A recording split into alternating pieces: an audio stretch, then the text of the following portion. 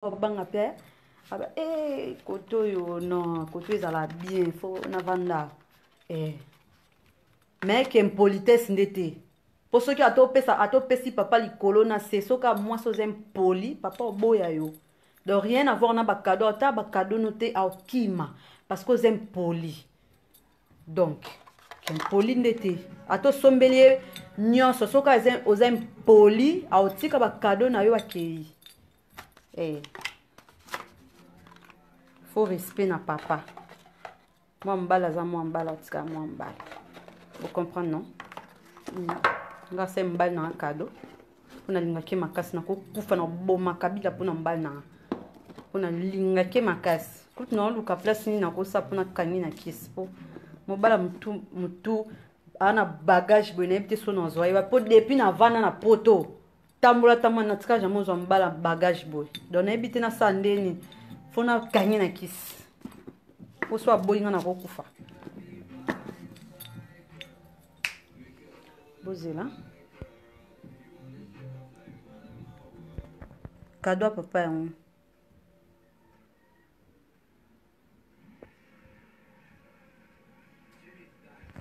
oui oui yaya anelka e eh, namoni ndoyi na nga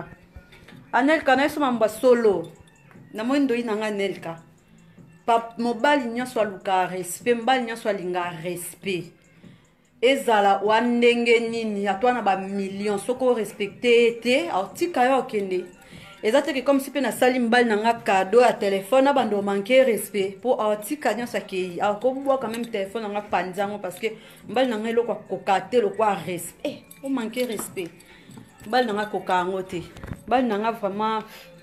En tout cas, na mibali nyonso eh oyo nzambe ka donc mobali nyonso ka oyo nzambe asala na mokili alingaka ka respect mobali to alukaka respect kiti oyo mpe nasombaki yango na ali express kiti oyo nasombaki yango na ali express boyebi quand même prix na yango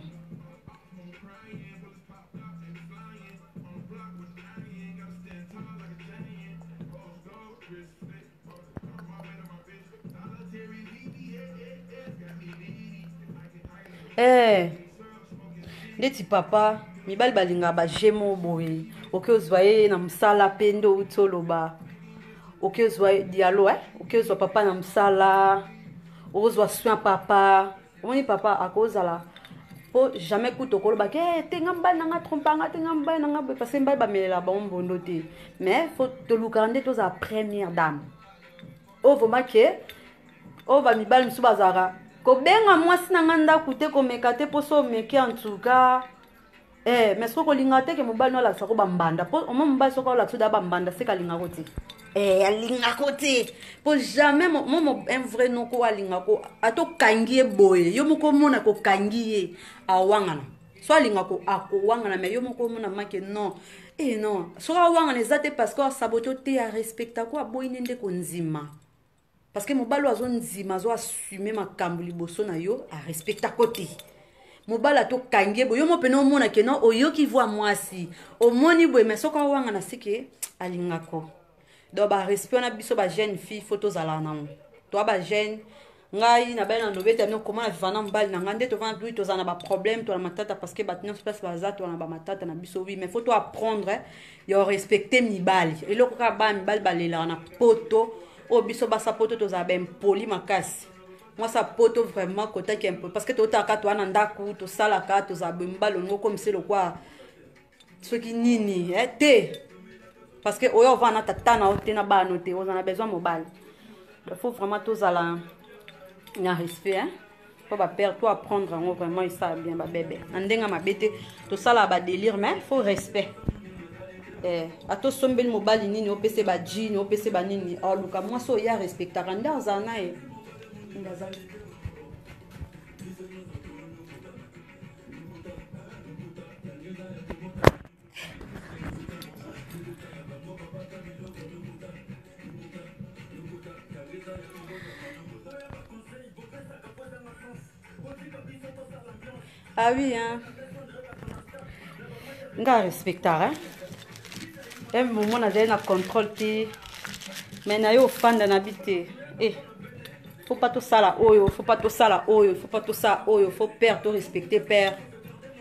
po internet te moto eyo remplace mobali na nga na kati ya palin internet te moto ebotisa nga mwana internet te moto na ndotambwa ne na nzela obie nalala ne pembeni te kaper esengaka mobali do esenga noko donc noko mpenza ke oyo oh, vraiment motu esalaka eh. donc moment vraiment ata otambwa boye na nzela bato baofingo boye so mobali alobi non ifo yoka poso ozoyoka mobali te en tout cas maa trop mpo na poto vraiment na désolé biso ba jeune fille totula totula makasi mpo ni kibonga e eh, nga na vrai chéri soki baoyo akei wa ye oyo akei te o oh, oyo akei ya ye oyo wana akei ya ye yaya mampeza ebele ti na mokili oyo merci nakomi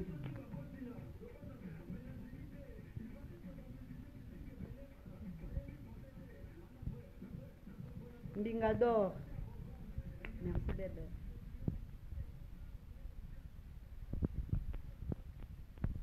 eza yango masolo ya mibali kaka ya masolo ya mibali te baréalité aoloba makambo ayebi te aosala innocent mowei aoloba makambo ayebi te eza kwiti nde lobi ekosimba kaka tala mwana oyo aoloba makambo ayebi te créature bandaka na grand kale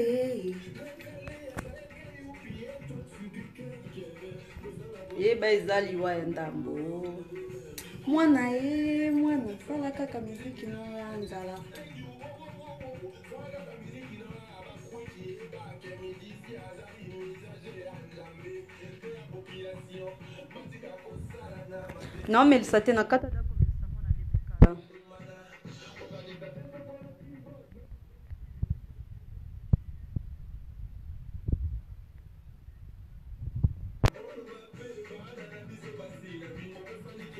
non moni babebe tolongola na biso sans internet hein? na vrai vie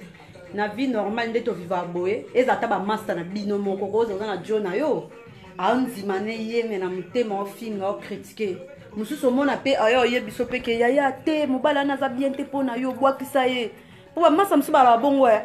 yaya bwakisa ye mobali yango aza ndumba e aza na basi ebele tika ye e mobali amonana aza aventurier basi baloba toujours basi ya kala bayokela basi ya sika mitema mpasi eh, na mama bana ndo mabe lefo elala parce que melisi donc kimbali na nga alinga yango mpo elemba tro ya makasi te donc camarade mosusu akoye biso tika mobali wana aza mabe boye boye boya ye sala boye sala boye yaya ntango olingi olanda conseil ya camarade ifo tala peti otala cv na ye estce ye moko aza mobali na kati ya ndako estce ye moko vraiment ntango mosusu nde botambolaka bongo mibali oyo azala na bango baza bien ou bien baza mabe moto mosusu omona ocomprendre ke ah garçon au niveau baokende baoke bien yango bafille fo botimba fo botimbaka na vie mpo baloba basi ya kala bayokela basi ya sika mitema mpasi bokeba na basere mosusu bapesaka bato baconseil wana mobali na mama vrai camarade bien vrai sœur soki omemeli ye sujet na yo tala mobali asali nga boye tala boye a ah, moto fo apesa yo conseil moko ya bien akitio motema mais eza na basere ebele na poto ah, bolanda boyebi e soki olobi na baetika eh, aventurier okonyokwama oya operdre mbala vie ozangisi mpe motu na vie oyo oh, nani yango soki nzambe na ngai banzembo aboye te pala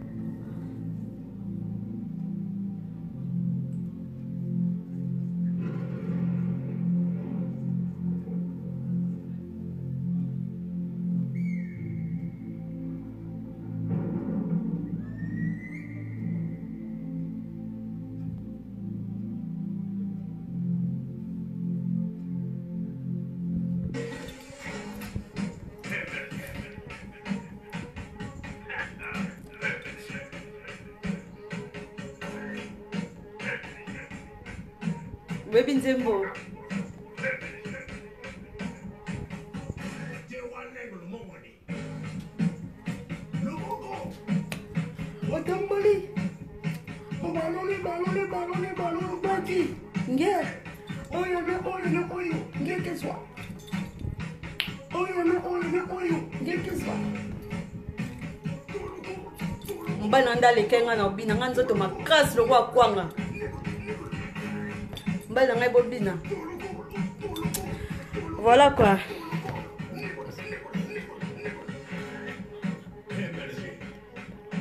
oui en fait mibali bakoma moni mobali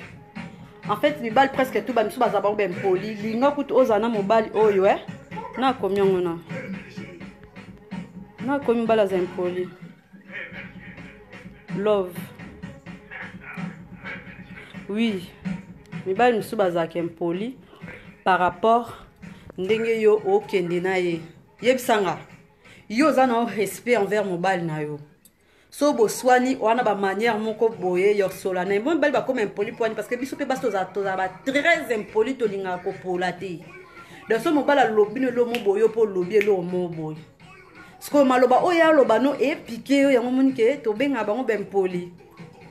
mais eza na bamibali mosusu oui c'est vrai ke baa bempoli mais eza na mibali mosusu akozala za impoli yo moko mwasi okozongisa ye na ligne na yo c'est ça babebe sikoyo so otali ndeti ke obi no naboya oyo oh, parce que aza impoli obino nazwa oyo bongo oyo ozwa oyebi bamibali mosusu linga ozala na mobali oyo alobaka ke ozala na mobali oyo alobaka te parce que bango babomba makambo na bango mama wana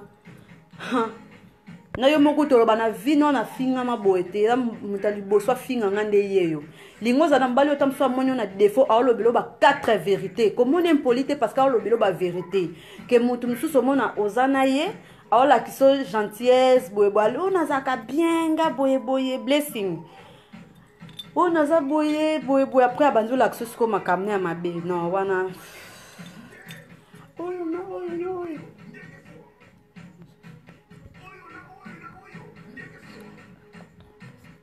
oh mais na bi eh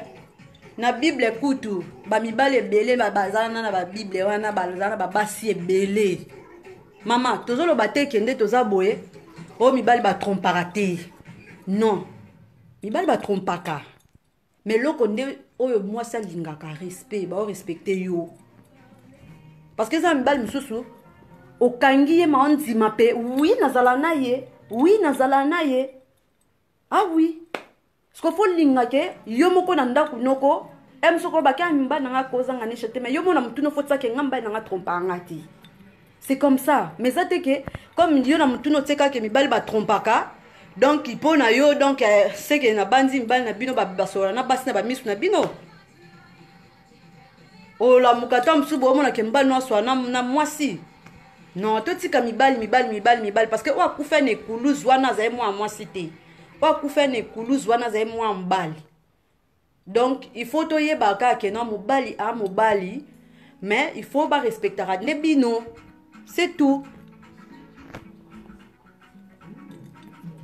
c'est ça babebe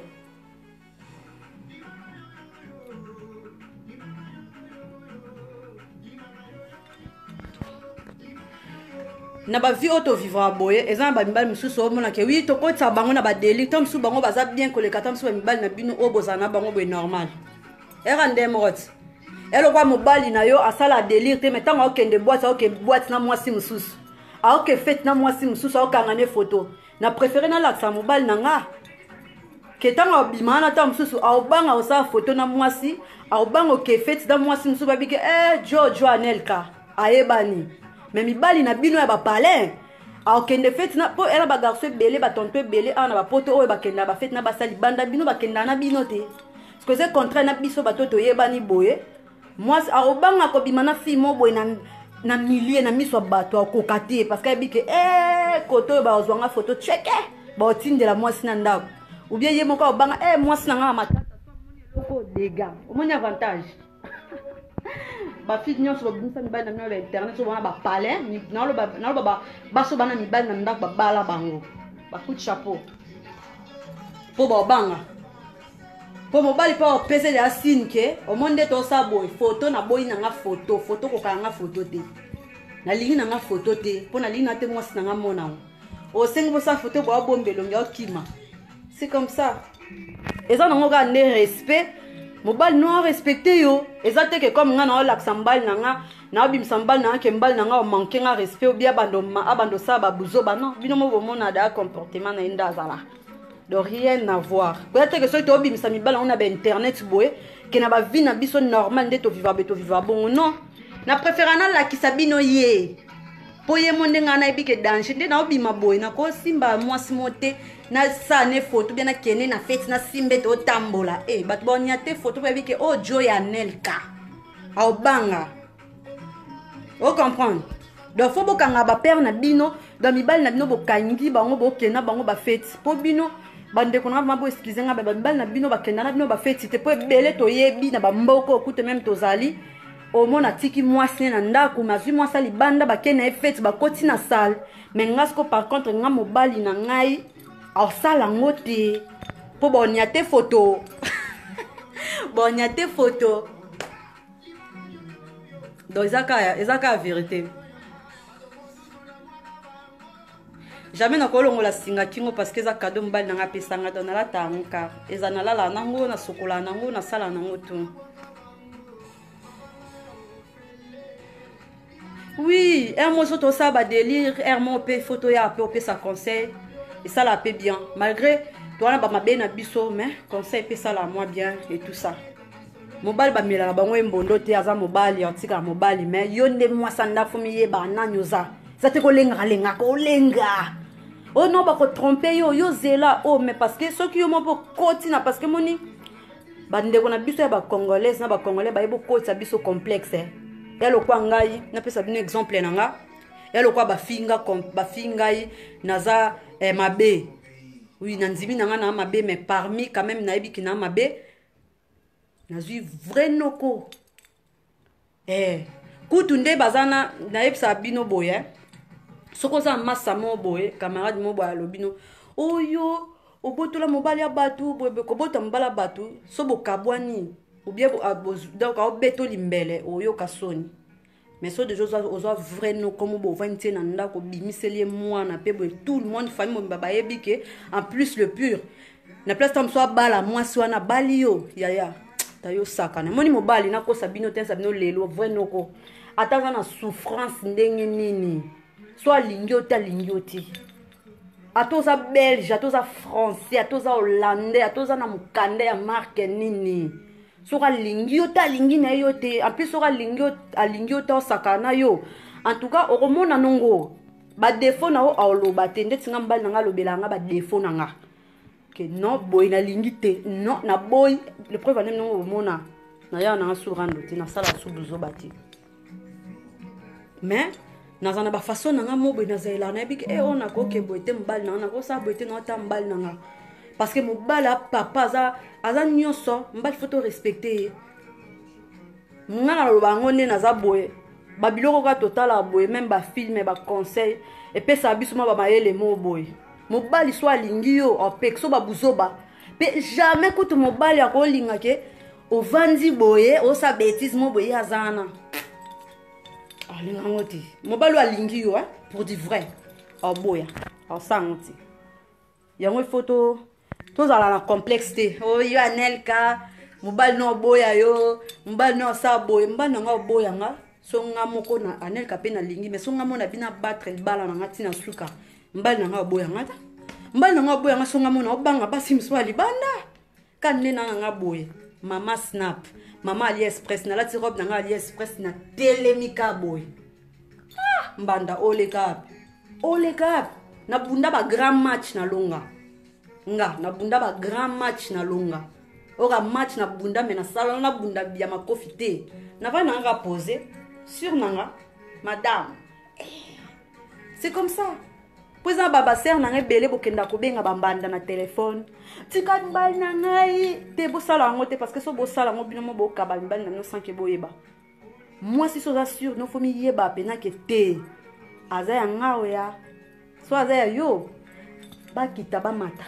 azaka ya yo fo ozala sur na bino elongi na bino comportement na bino bizaleli na bino nde yango esala ke mobali akozala ke na ye atali alobi mm,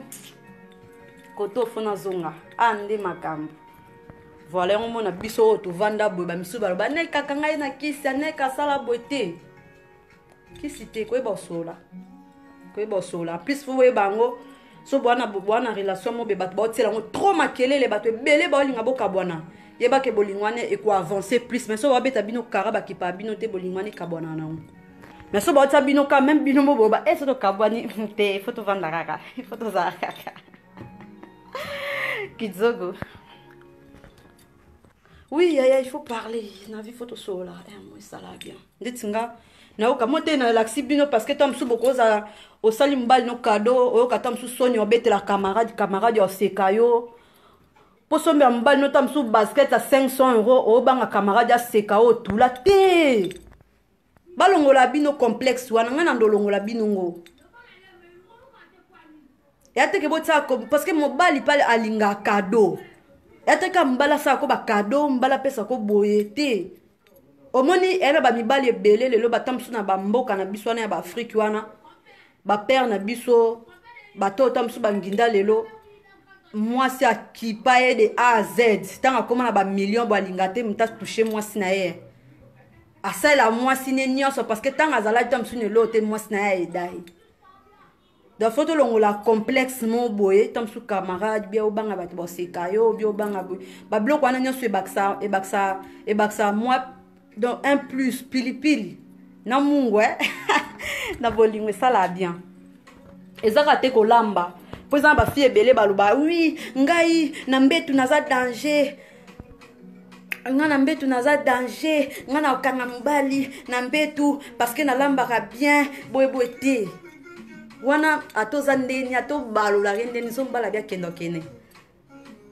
comportement surtout respect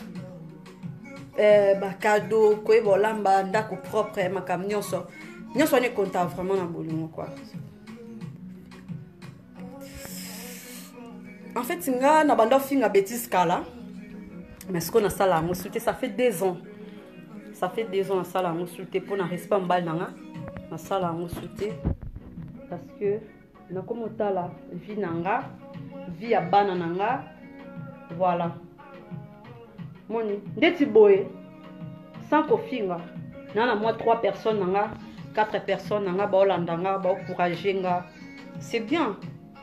ke naza na 10 000 30 000 personnes bato baotala nga nafingi nafingi nafingi nafingi na sita na sisa boye nakozala na vai na nga boye tala bino boya te na boya te na palais na nga eh. ntango mosusu na susi mo boye dérange nga boya te na palais na nga mais ok na facebook nasekisaki bino mosi ko mabe na biso eloko tosala nde tomibombanaka tomibombanaka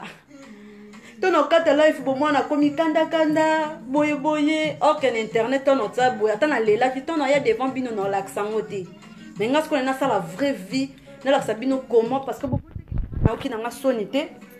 nasombi mibali na nga telefone cash nazonga na crédit te yango nasombi mibali na nga 20 plus donc 20 s 20 plus nasombi mobali na nga kado nalakisi bino mpo na omotive bato ata mosusu oh wi azala na gigolo azala na boyeboye wi aolya mbongo aolya mbongo ya mwasi na ye aolya mbongo na nga donc nabimi donc nazwi karte ya moto mosusu te belfis na nga karte na ngai mbongo na nga mosala nasombeli mobali na nga telefone oui nasali yango mpe te o mpola te mobali na nga papa bana na nga donc c'est ça franchement nazala fière ya ozala congolaise parce que kaka lingala bamindele bakopia lingala mais français te donc mona azala fier bakoma okopie meme kikongo chiluba donc voilà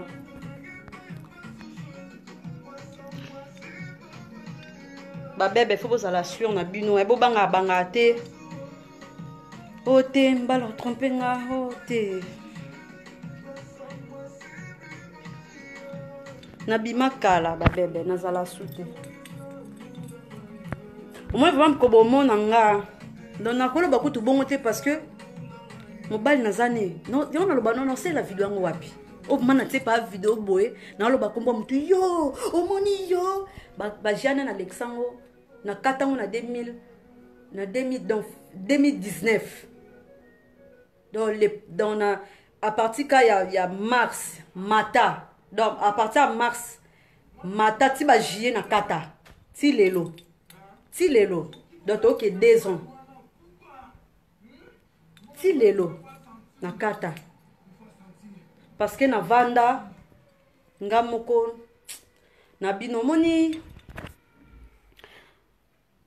ba bilo mosusu ekomela biso na vie en fait naboya ofongola ba diable porte eh, c'est vrai naboya ofongola ba diable porte ya nango nakopesa nga bino baexplication te parce que échange nango nga elo te esa nango nga mpe elo te mais jusqu'à ke nabika ke naboya ofongola bato porte eh, naobatela libala na nga libala na ngai ya pasi naobatela yango naotala avenir na ngai e tout ça mpe moto moko te aya osala oyo bakabola biso aza nete wana na opromettre bino so tokabola na mobali na ngai eza ta mosusu mpo na ngai na ye mai mpo na bato ya mokili te en fait le problème na ngai ezalaka nini bebe problème na ngai ezalaka en fait naa motu mo boye nanimaka ngai so nakoti live ou bien naosala video na ngai ya basnap na motu mo ya shosho mpo nalobaka eloo mo boye esalaka nini sikoyo soki ndeti par exemple ya bebe na ngai oyebi ke yo ozano na problème na ngai te nde niyokani soki en fait babebe na ngai nayebisa bino eloo moko makambo ekomela bacamarade so mo oza na camarade mo boye so yo tie statia jeton ye mpe azongiseli yo jeton seke azala na haine no azala na problème na yo mais soki otie statut mo boye ou bien otie makambo ya bapasteur baobwakela ntango so ifo kobala ifo kosala boye soki etouche camarade te kuta oloba no tindelanga sala boye parce que a camarade mwa bien donc makambo oyo ozo ozotia na bastatut etali nango ye te mais so omoni otie bajaka ba statut camarade mpe azongisi yebaka ke makambo oyo yo ozosala ederange ye donc eza nde mona ba réseau sociaux na biso ndeti ngai na bamur ya bato nakendaka na ngai te moni nakendaka te nasala makambo nanga na ndenge na ngai parce que en fait ngai na motu moko boye nazala na ngai na ndenge normal boye nasalaka na nga bongo te mais so na neti na osala balife boye bomona nga tamsi nakomi eh, yo boye ya ndenge na nga mais sikoyo motu aza na problème na nga ta mosusu azoluka nga problème nde okanisaki aneka olobela nga omoni e omoni aneka asali e omoni nini aneka mambo osala aosalela nga mais ok ye nango bongo te nga na osala délire na nga ya nango ndenge na nasala badélire na nga meme mbali na nga ayebi je suis comme ça même basemeki na nga bayebi so tokutani boye nazalaka boye yo e parce que nayebi ke video mais sans video na osala yango te mais moto azokanisa ata mosuki aneka obwakela nga seke ye nde moto na problème na nga donc voilà tobeta biso basujet na biso ya bien babebe oyo eza badistraction oyo eza badistraction tobeta na biso na masolo ya mibali esala mwa bien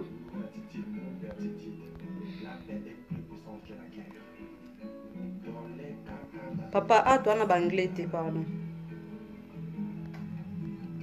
nzoto oyo zomona ngai epa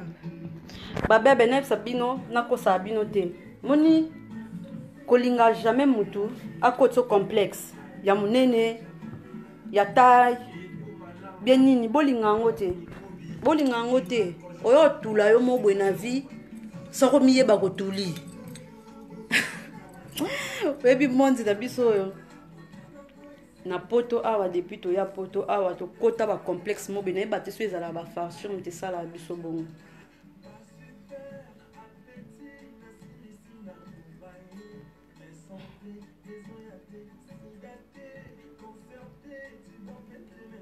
soki ezalaka complexe so ezala nini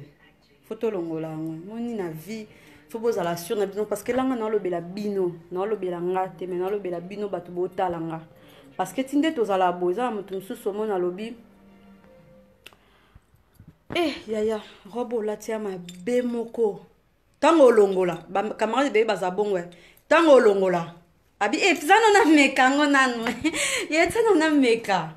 Tango omeka ngo pe eh tano misimbi nga eh. Nakola tango eh. Eh bien. Ba camarade ya mabe. Ba camarade ya mabe. Eh, baza vraiment bacamarade ya mabe de yango na vie mobali na yo aza ya yo aza ya moto mosusu te bafinga basa soki nini oyo oh, bamonaki mobali no boye bamonaki ye boye ndenge yo moko na olomoni na miso na yo te ozwi mpena mai omeli sonia gigos talaka yo wesh ma gueule lumière dame kingasa na suka voilà bozela e eh, totamboli trop moko media mark ndenge nasombele na, na nini na prosmus abi te mais etoki echange na biso nakotana na na prosmus o oh, te o oh, déjà c'est bon nga bimo carton pamba mpe akokofongola te likolo ya nini ya stress bafongolaka carton ya pamba père aolenga apie ngai na mawa franchement mobali na ngai nayebi te yaka toke changeant o kasi toke prosimi so te te tototo nakataki ana te te te mama te mama te bali nanga mawa akoki kofongola carton te apo boyebisa nga na yede te bayeda mutu te soki opesi mutu kado ye moko fa fongola kado na ye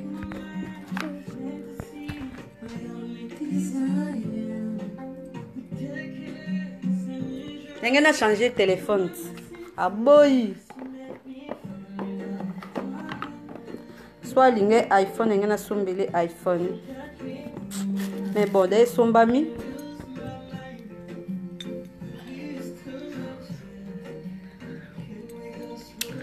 donc voilà quoi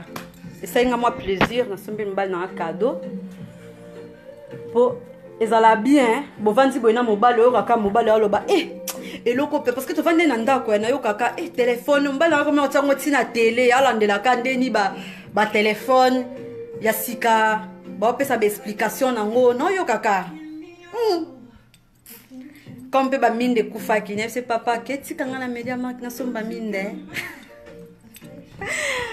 parce que mobali na ngai abeta basola telefone mais nga mpe kara kara mpena donc eh, naotalaka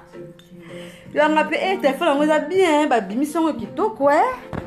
yoka mpe wi mama eza vraiment bien batelefone oyo bamarke oyo ya kitoko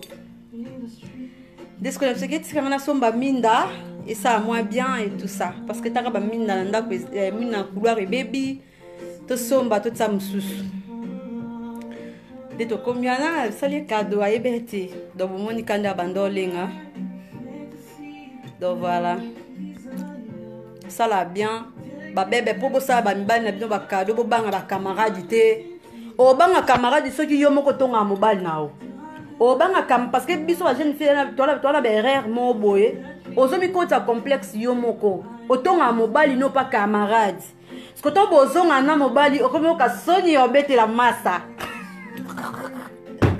okomi to mosusu koluka bamerde na kamaradi bokabola mpo nini ozongela ye mobali na yo moni sikoyo eloko eboma biso bafille soki oyebi vraiment kolinga mobali wana kotongake te kobeta mpe mabe na ye te parce que ntango osala yango osala yango osala yango na zuwa osala yango na motema mpasi mais ntango bozongana yaya okobloke bacamarade apo okoso nimero ebunga omona okangeli masa kanda masa asali eloko te okoma ofashe okoma osala boye nyonso wana parce que ozoka soni ya koannonce camarade na yo ke bozongani na mobali na yo soki olinga mobali na yo meme baproblème ata aza na 100 basi ata aza na 3000 basi motema ezalaka ka moko koyoka no soni te yebisa bango verité ke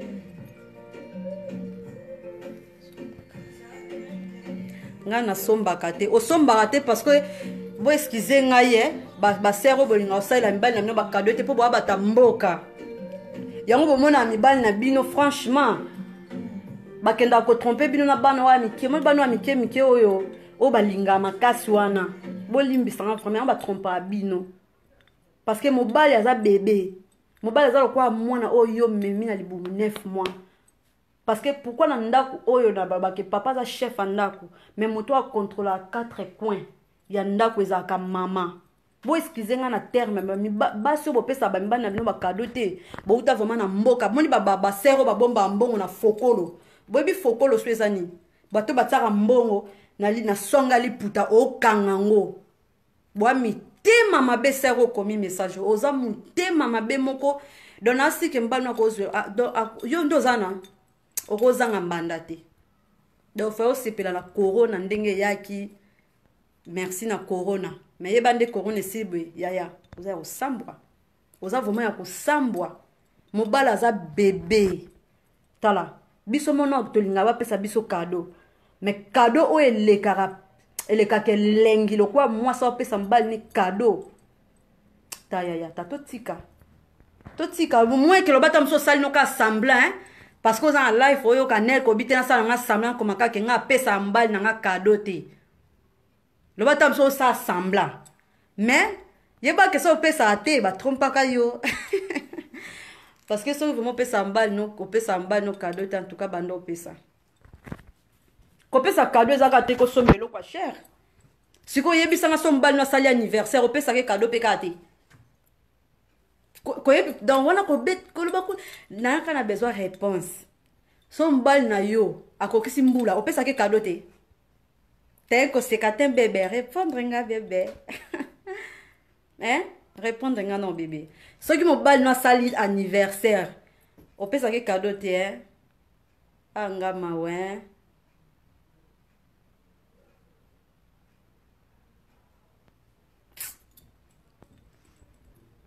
nga naolobela te ke o mpona résultat ya libala eza kaka kado te nga naoloba eza parmi parmi nalobi mambo ebele to mosusu bokoti na retard mpo biso ba jeune fille ebele tokanisa ata mosusu soki bwana mbetu mobali aloba no te mama oza bien osala yango bien boyeboye wana olobi a ah, mobali na ngai atrompe nga te lokuta soki ezali bongo te nde basere ebele bato ebele bakabwana bamibali na bango te o te nga nalambaka bien nasalaka misala ndako ndako na nga eza propre mbala okima nga te tala so oza impoli mbala okima yo nauti koloba yango awa ezala ngai oyo nasombeli mobali na ngai kado ya telefone soki naomanke mobali na ngai respect ntongo midi mpokwa aotika kado aokende parce que naza impoli noko alingaka te bamanke noko alingaka te bamanke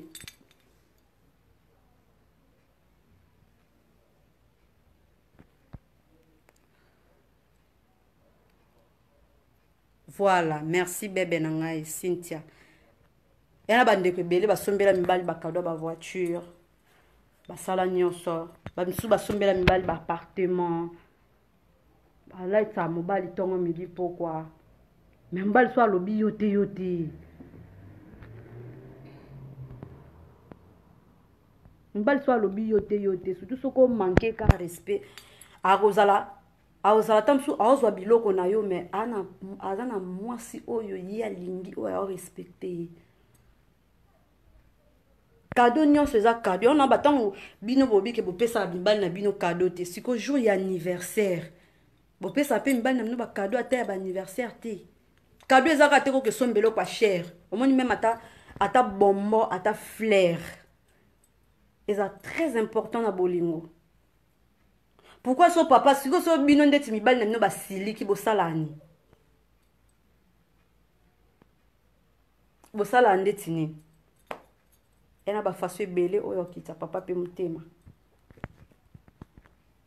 bakado mosusu ezala papa obeta lisolo mo ndeti ngai papa anda obeta tro mambo ya telefone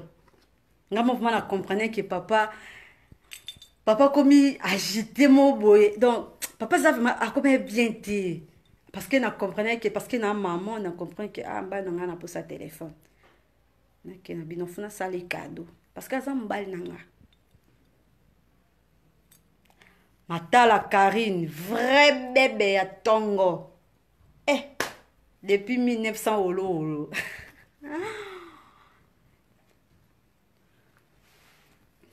mais voilà motu na motu aa na bafaçon na ye ndenge akenda sonia gigoz ey eh, yo nde pardon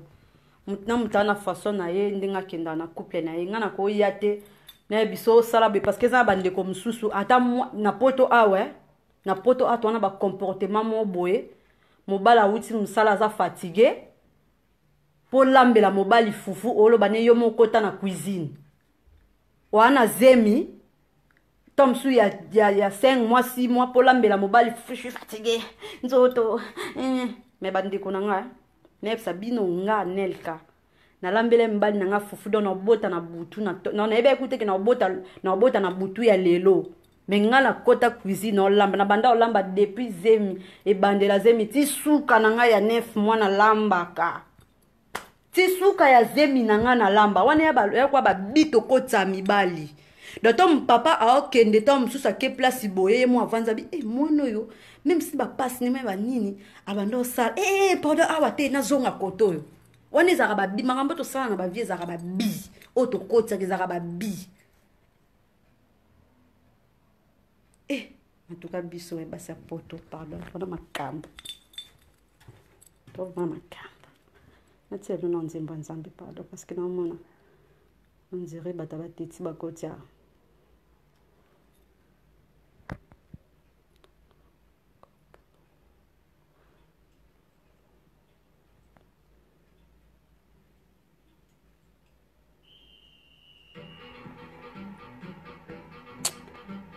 nga nde naza boye eza nango komikumisa te ma naza makasi na mosala mpe na zemi na nga na banda kokɔta cuisine nalambaka eh nga vraiment nayebi te nandolambela mobali na nga fufu donc na nayebi ekuteke na bu- donc lo- na na katikati ya butu mpasi ya bote ezwa nga me na cuisine naolamba biloko ya donc natie mpenza biloko ezotoka kote oyo fufu pia pia pia pia pia nalambi mpe tolia apres na, na ba deux heures beposa ya bote yenga nake obota donc jour moko te nga ta naobela nakota ya cuisine nake olamba nake balola makusa biloko wana nyonso ezala bien donc mobali mpena ota mais na condition ke ata oza impoli soki osala yango papa otika yo okende eza te ke comme nazali na zemi nakoti cuisine naolambela pere après na manke akotika biloko akokende ake siko mpa moto ntango mosusu ko ye mo akobanda akewelela don ye mo ntango mosusu alambaka me moto yango arespecte eza te kosali bongo me mankamba le respect non lumière dame naluki oza te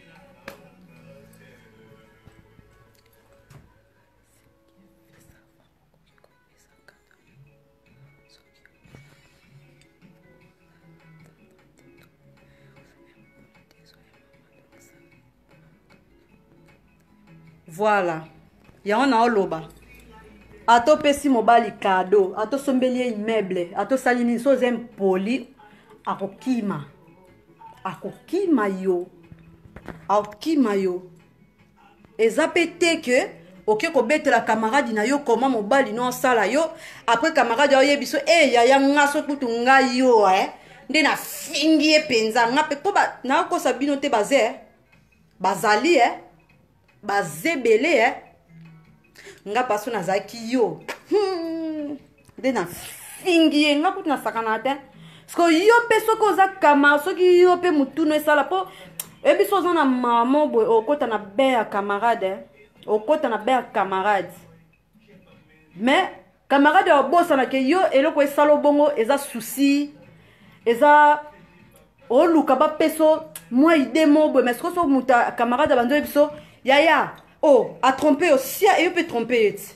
o oh, asala boye oyo oh, yo mpe zongisa oso afingi yo yo mpe finga ye enga kutu babiloko elekaka te yayo mwasi kitoko boni boye soki olandi makambo wana yaya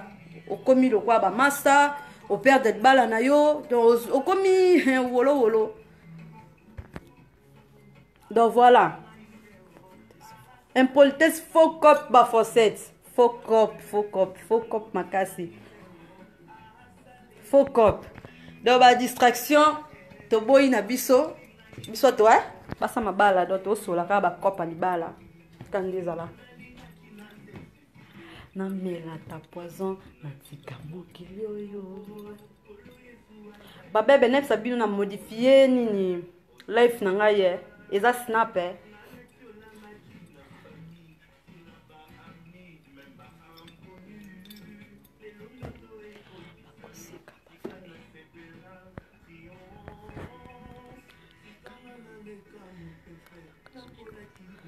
anelka mabe ezalaka soki oza na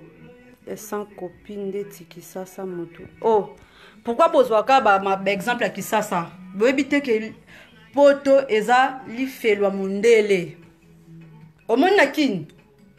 ya mwa mpasi mpo moto aokela moto zuwe omoi elobaka ata mosi otambola na jeep camarade ya nango te ndeti na poto awa vraiment nakosa bino te bandeko na ngai bato balengisaka bino te ngai naa na jeep ngai naa na ndako moi na poto ka nde toza boso bosomba ndako osomba so bosomba voiture osomba soko bosomba donc nyonso so olingi osala na vie osala na vie balobaka poto u kisasa kozala na bacamarade ebele ezalaka mabe kozala na bacamarade so oza na trois camarade yebaka oza na trois problème boyebi mpo ya nini boso oza na de soki ozanga na camarade moko na yo esali mibale so boa na problème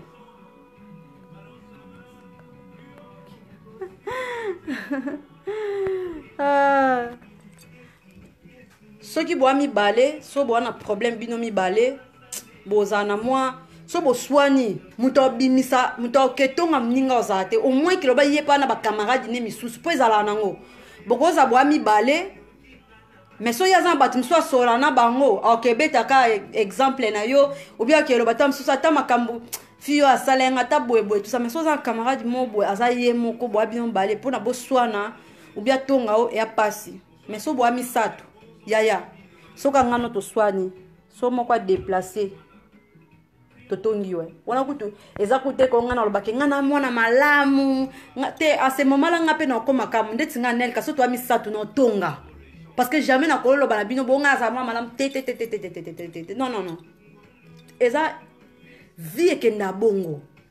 jamais te naosala naza liboso nobe naloba ko ngai natongaka te te so toyaka misato na otonga so toya misato na otonga dato moto oyo omemela nga na ba e boye osala bongo pwani a ah, te boye boye boye tusa toza na mposa osala yango te okosala yango kaka mpo ni moto oyo okoti yo na bmo boye mais so boya mibale eleka nango te donc moto oso oyebi ke wana wana parce que ezaka te ke bacopine tolobela mpe mampe ya basere basere mosusu mpe bapesaka mpe bato baconseil ya mabe bapesaka mpe bato conseil ya mabe siko bajaka bacamarade wana eh? aopesa conseil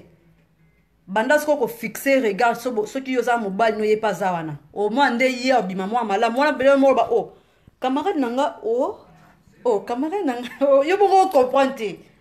O linga siko misa mwa malamu. O ka kotisa ko ba faux boule. camarade ya malamu aza mobali na yo oyo arespectaka yo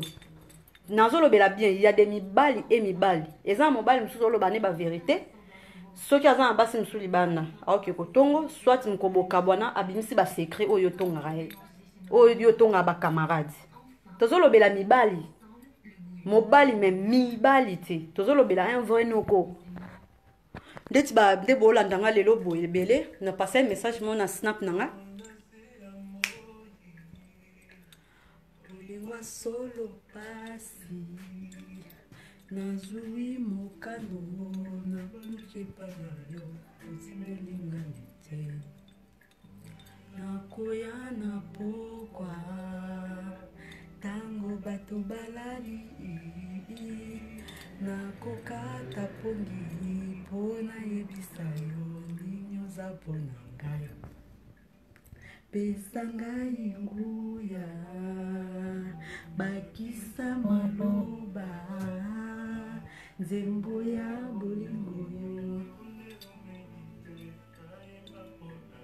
ndenge naloba boye babebe ndenge naloba boye nini oui bandeko na ngai bazala na systeme oyo boye kutu e eh, mobali na ye kofinga ye mpa na nga te mobali nafingaki ye mwasi yango ndako mobali nende afingaki boye mwasi ko obetela masa na yo obetela masa na yo e eh? Hey, eh, mwasi yango ya ndako hey, eh, oyo abeta atolo mpo na mobali ne mobali nafingaki ye oh, mai botika na yebisa bino bayebi mpoka afingaki ye afingaki ye mpo amona kaleso mais so amoni kalesono est ce que ofinga sumera pale ofinga te ah non koma biso basi ya mo tozala bete eh, mobali mobali mpona akitsoka leso akofinga meme mama na ye afinga mwasi na ndako alongoli ye loposo aza salite solo kuta kipaba na ta kipanga te aloba no nyonso mpo kaka mona nzoto no mais après bazala kaka ndo botse bana ndo saa nyonso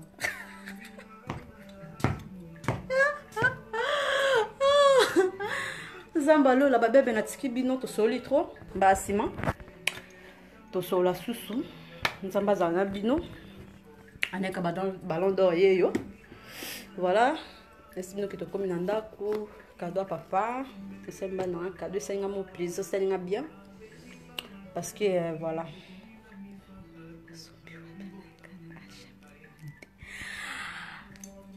omoni bonesa bino kaka verité nga sikoyo lumière dame nalingaa na ngai te bebe te plaît kosala nga boye te lumière dame nga alinga bato ka nde babandaki kalata alias presse pourkoi olingaka ka naloba ka place robe ewuti uh, osalaka nga mabe er moko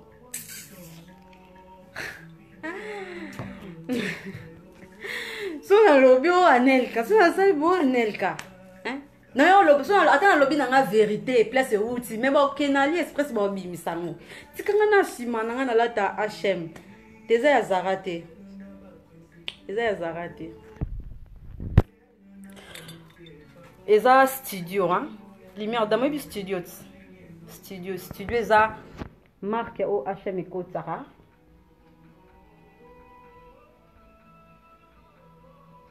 eza robe oyo eza hm mais eza studio eza studio nga babilo nanga presque nalati oyo babimisa alias eza bastudio ya ba hm etu etu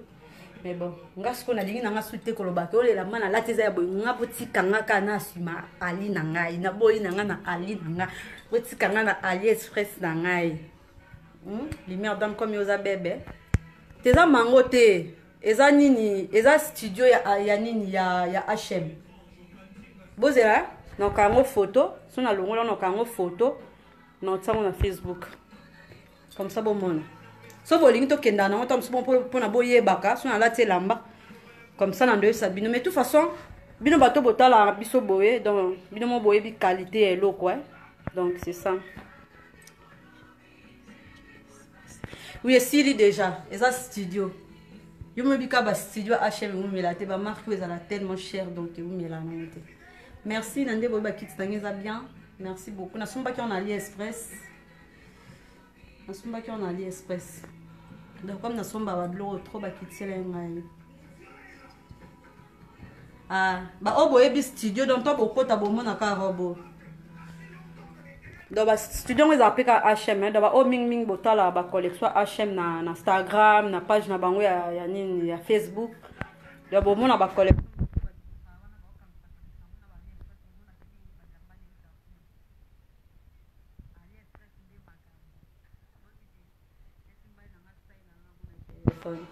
donc voilà robe na ngai yango oyo donc eza yango hm mais eza studio kua eya nango studio donc na bamasa nango naza na bon am mosusu bafinga na ekalata aliespèce esikisa bon meme dio nanga mwa seka parce que nayeba nde bakomanda biloko te eh, somo jenny Kab kaboya biloko ya nini ewumela te ya studio donc soki aye bakotisaka ata mosusu lelo desala une semaine te biloko wana eloko epesaka ngai ya mokanda yango wana biloko ya studio wana hm nayebi te parceke ezalaka chere so bakotika eloko pa ya moni ngai naza navandelaka bango pa boye na nini navandelaka bango boye naotala bango so bakotisi ka eloko ewumelaka te même pas une semaine pa moni esili mokata mosusu le même jour ka baokotisa le même jour mpe ka esila nde bazalaka wana bato te bato te bato wana nini wana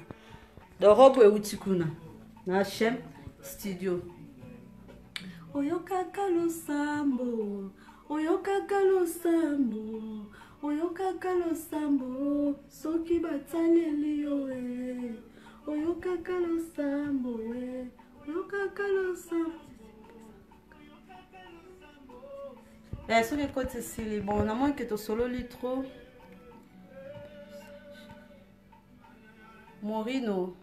belle sœur chérie de moi, la femme de son nom. Ah oui, hein? Batika yo, hein, Morino de moi, hein? Vie na biso kaka boye te, ezongi o. Oh.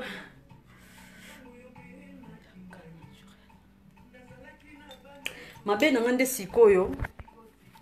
nga moko ndeti omoni na omoni ngai naa na defo monepesa bino lelo nao répondre eh? bebe na nga o oh, karine bebe na nga karine eloko yo oyebisa nga nasala te yango na osala mpo epesa kokanda c'est ça moi sikoyo mabe na nga nde sikoyo yango wana meme mobali na ngai banda oloba na ngai tika kondima makambo mosusu soki apose ngai baquestion omona ata mosusu na suki na bi wi ya bongo atanga tika biloko wana mobali na ndikami na koma soane bie siko neti bato mosusu ngai eloko oyo kaka neti so oboyi snap yango wana naoyela yo mpe pesa kokanda mpo nakanga foto normal te ti okochange maloba da soki oloba na ndeti nango na concert mo bafille ebele eza te ke motu afinga yo oza soki nde nini yo mpo okoti complexe oyo oza monene fota polata te eloko nwa mokuse okoti complexe parceke bayebisaki yo boye te salaka makambo oyo bango oyo bango baoboya mpo ematisa bango mafuta to na besoin mafuta ifo emata omoni mbila mbila ezala na mwa baretard mai lwili te lwili so otiango kaka na moto pelisi tala ya kebe etumba ndako ena bavitesse mwa ya mabe eh? nga siko na lwile nga sikoyo eloko kaka yo ozoboya yango na yo osala eloko kaka neti nga mpena nde na boye snap nde naso na kati ka life boye nasali foto ya snap pia na bambi naozela telefone mobali na ngai charge acharge yango nga mta liboso fo nakanga foto na snap Karine bebe na bino mabe nanga sikoyo nde mona ofinga eno nga mena obenguka bebe parce que nalinga babebe nyonso bebe no alali bebe alali sonia gigos o oh, vraiment vrai bebe donc o oh, nayebi te niveau boyebani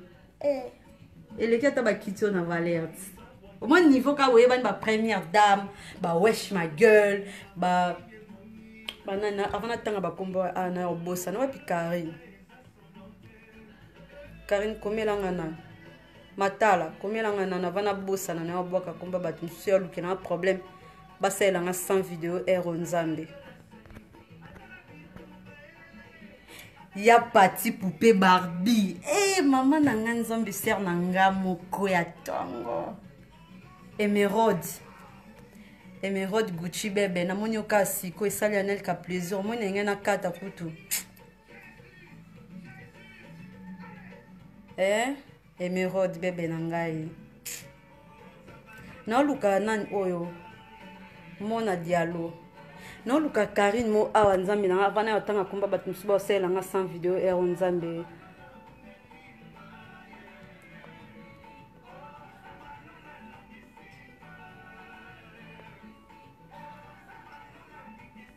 eh,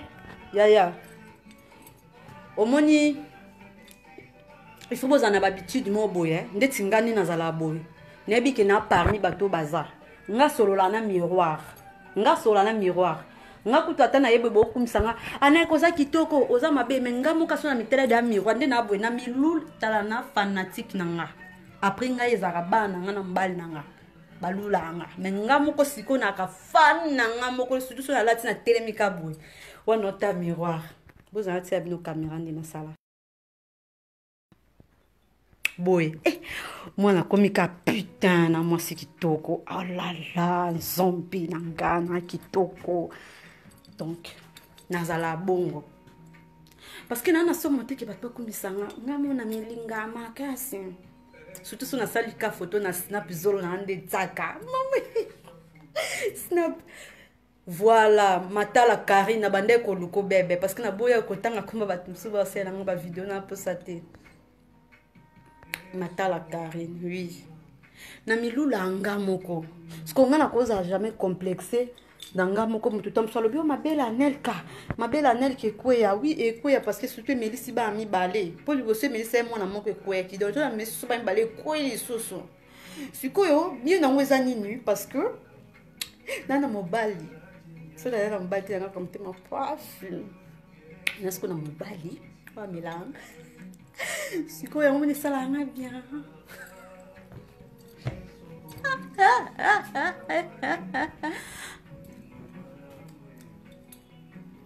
mama africain il faut mabele sa mwa jar so amelisi e eh, yaya bamisusu kutu balongola na bango kaka balongola asimbi na mwana te me mabele edeborde bona te wana mpo yango parceke ta kaka biso bamaloba na su te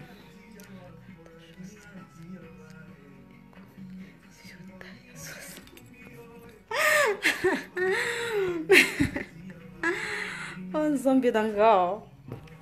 bon babebe merci na bino antuka bozala sur na bino nga nelka ye yo balondor na be te so nakosi na ndako parce que nasala ye video libanda pere ayeba ye te sikoyo nakoti awa na bino nayebisa na mpe kaka meme ke nakomi mais snap wana nasala ye soki video nasala ye libanda wana elongi ezali mwa genre ntango nakoti na ndako na bi te fo tonyata yango no boye no na pale nanu apres nasololi mpe na snap nayebisi bango te basalela nga mwa couleur awa na life na ngai apesa yanga mwa torkosisa nga mwa bien pesa bien kua voilà tout à l'heure là naosenga papa telefone naokanga bafoto na ntango na page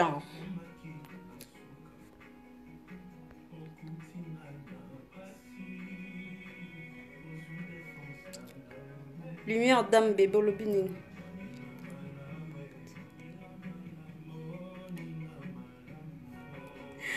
ee eh, lumière dame na mpona nga olandi nga atiyawa olandi nga atiyawa ee eh. olandi nga tiyawa olandi nga tiyawa olandi nga tiyawa e eh. bolingo nekumbi yo epa ya moto pamba olandi nga tiyawa e eh. hey. Eh. hmm. mille euro ekwei kabwe na journal elo nzambe na ngai ya salaire eh. hmm. ah ngai ye eh. kolinga mobali ezala bien niveau nalinga mobali na nga putain natali kutu mpasa 1000 euro te natali kutu ata mpasi nalamukaka na ntango te na bino na mobali na ngai mobali na ngai mobali na ngai nalingaki makasi zombe ya pati okoti na retard ya pati nasombeli papa telefone ya 1000 euro doto baka 1000 euro parce que eza 900 998 quoi 989 je pense donc natali kutu te ke nalamuka ntongo na bino mobali na ngai nasolika ba telefone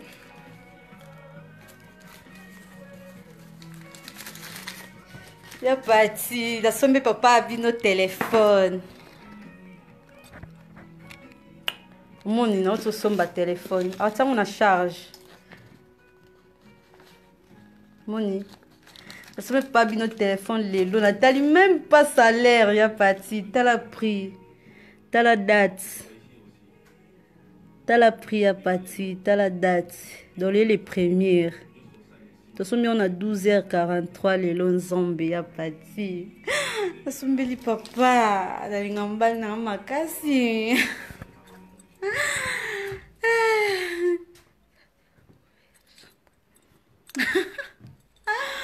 donc voilà quoi merci na bino en tout cas nalingaka bino makasi wi ya pati fo opesa papa kado esala bien ngai nga mpe na na iphone na nga eza en charge donc là naosalela samsung na nga mosusu parce que wana comme nasalelaki yango balife libanda ekata donc ekangamaki kua bolingo ezala bongo donc voilà quoi donc biso nde toza boye bavi na biso kaka yango oyo donc voilà en tout cas merci na bino nyonso vraiment surtout baoyo bosoutenir nga nelka na page na nga merci na bino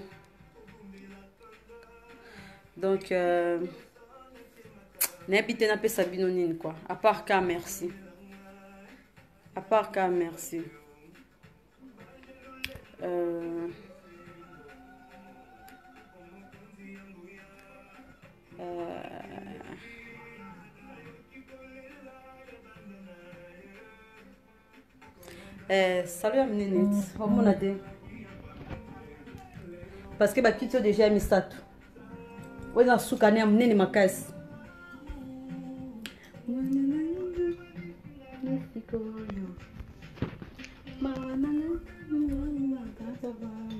bakiti ana na suka ya monene makasi oyo mosusu mosusu ya mokie nango yango donc oyo omona oyo spas dasu na balusi boye bomona sikosala manger donc espace eza donc mosusu yango oyo kuna commode donc na na salon oyo ekoka na nga na mobali na nga na bana donc porte oyo cuisine euh, oyo couloir oyo porte entrée couloir bachambre bachambre eza kuna badouche banini nyonso kuna eza kuna donc o porte ya salon donc nga na ndako na nga oyo nzambe semeka nalala libanda te kua nalala na nga na kati ya ndako na nga ya mwa kikuku na nga eh. coupe na nga mpo na nga na bana na nga na mobali na nga donc c'est bon donc voilà en tout cas merci na bino nyonso vraiment oyo bozwi temps na bino lelo bopesi ngai nzambe azala na bino abatela bino j'espère que na blesse vraiment motu te maloba na ngai mpe nazalaki vraiment clair mpo yo komo anelka vraiment je suis désolé mingimingi ka baconseil kolobela baréalité ya vie kolakisa vraiment un mot mpe moins vrai vie mokie bomoni papa ndenge azalaki donc voilà ke oyo ezalaki oyo na coache nasala ni boye soki ezalaki coache yango aza bonda aza ye te donc bino mo bomoni vrai vie na nga yango nasali yango na bino mpo bomona quand même ke voilà so boni bosala bapere bacado bobangaka na bino te soki obanga soki yo moyebi kotonga mbali na yo eh, eh, otonga mbali mpo bamasa wana nde sikoyo obanga osala mbali no kado eh. bon so tobi tolobela mpe ah, bon nga mpena sona na bajara mibali oyo naomona bambanda bo en life boye en tout cas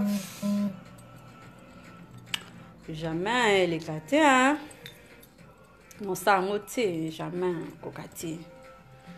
respect bolingo amour mobali nanga mpianga bamérite donc voilà kalunga ba bisous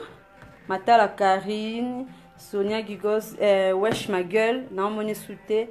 kingasa na suka lumière dame en tout cas merci na bino nyonso vraiment en tout cas na bolingo bolakisa nel kabalon dor donc boza vraiment ba vrai surtout lumière oh, nzambe na ngai lumière na ngai bebe bebe lumière naomela yo yo lumière yo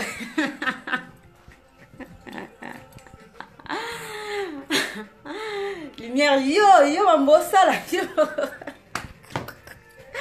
oyo abomisa ngai yo lumière yo naloba so eloo te na kati ka video me bagro gro bizu na yo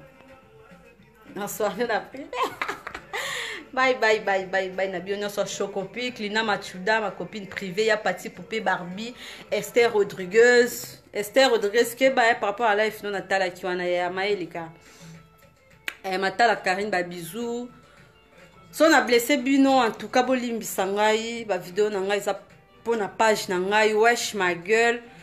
en tout cas boza ebele ebele ebele ebele ebele nalinga bino vraiment makasi na motema mobimba